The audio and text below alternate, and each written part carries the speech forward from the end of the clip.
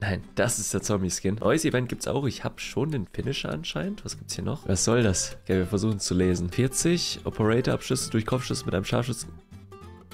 Wer soll das lesen? Im heutigen Video geht es um die meist unterschätzte SMG in Warzone 3 mit allerdings der besten Time to Kill. Und es ist nicht die WSB Swarm, denn es geht um diese Waffe hier, die ISO 9mm, einer der letzten DLC-Waffen der Modern Warfare 2 Geschichte. Eine Waffe mit wirklich sehr gutem Movement, sehr, sehr guter Feuerrate und sehr, sehr guter Time to Kill. Denn wenn man die Time to Kill zwischen der ISO, der WSB Swamp und der WSP 9 vergleicht, sieht man tatsächlich, dass die Time to Kill auf ungefähr 10 Meter auch nochmal besser ist als bei der WSP Swamp. Bevor wir jetzt ins Gameplay gehen, vergesst natürlich nicht den Kanal zu abonnieren, lasst gerne einen Daumen nach oben da. Ich muss nochmal Danke sagen für den ganzen Support in letzter Zeit, ist wirklich insane. Die Videos kommen extrem gut an. Plus geht auf jeden Fall raus. Jetzt würde ich sagen, starten wir rein ins Gameplay. Let's go. Es wird krachen.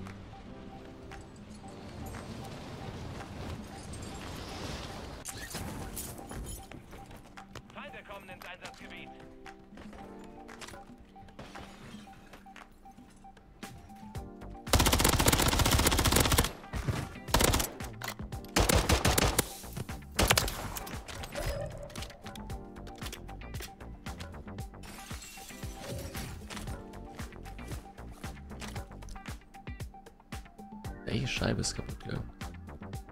Abschuss bestätigt, den Rest haben wir auch geortet.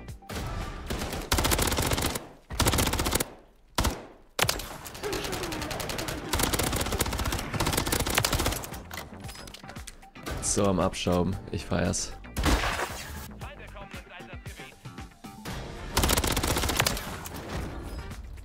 Hm. Vielleicht ein bisschen unlucky vom Timing, weiß ich nicht. Maybe, bisschen unlucky. Ach, die ISO ist einfach... Also niemand hat die Waffe wirklich... Also hat, niemand hat die Waffe auf dem Schirm gefühlt, aber die ISO hat halt einfach somit die beste Time to Kill. Also besser als die WSP Swarm sogar, das ist halt insane.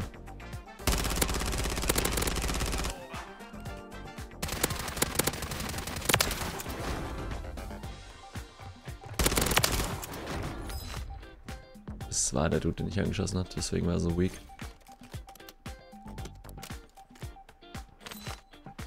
Eigentlich muss hier noch mehr sein. Come on.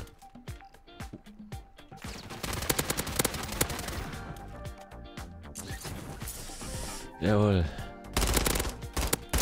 Dadurch, dass ich halt dieses Dolphin Dive mittlerweile aus habe, ist es halt echt so, dass ich so oft irgendwie denke, okay, ich kann da hin, ich kann da hinfliegen, aber ich kann es halt nicht. Wieso ist hier dieses Auto angegangen?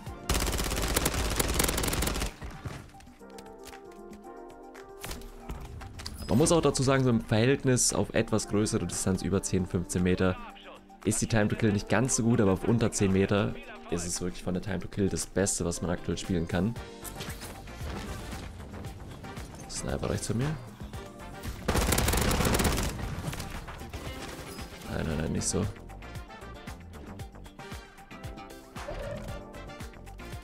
Können wir dem Beam kommen?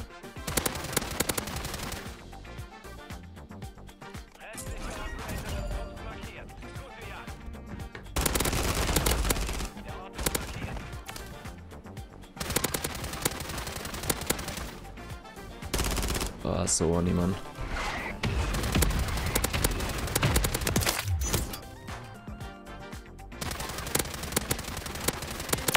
Was B für mich auch beste Resurgence Waffe, sage ich.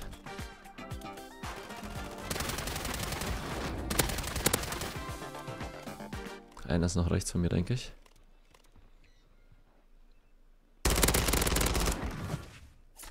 Nein. Wirklich der schlechteste Wurfmesserwerfer. Hier ist jemand drin, Safe Call.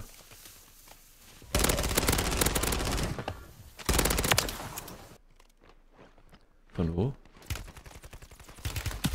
Nein, wieder von allen Seiten, bitte Jungs.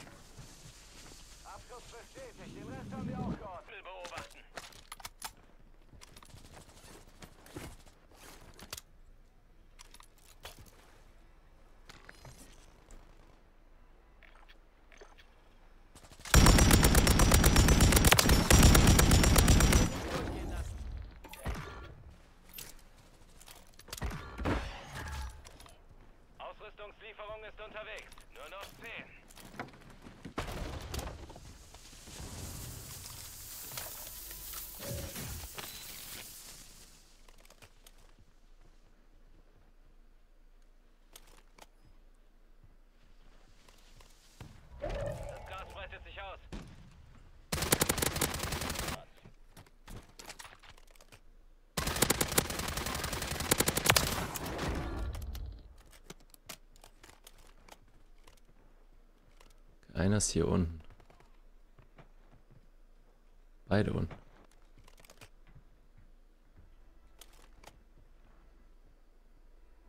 Achtung, Drohne verlässt das Einsatzgebiet.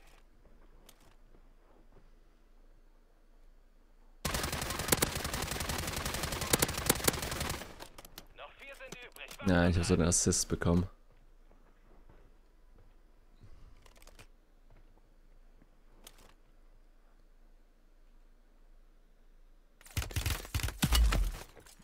Gute Shots.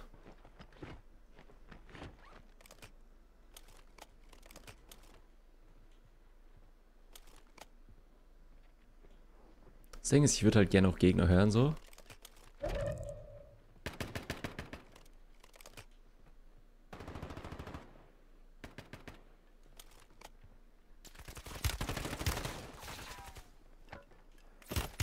Nein, doch nicht so, Jungs.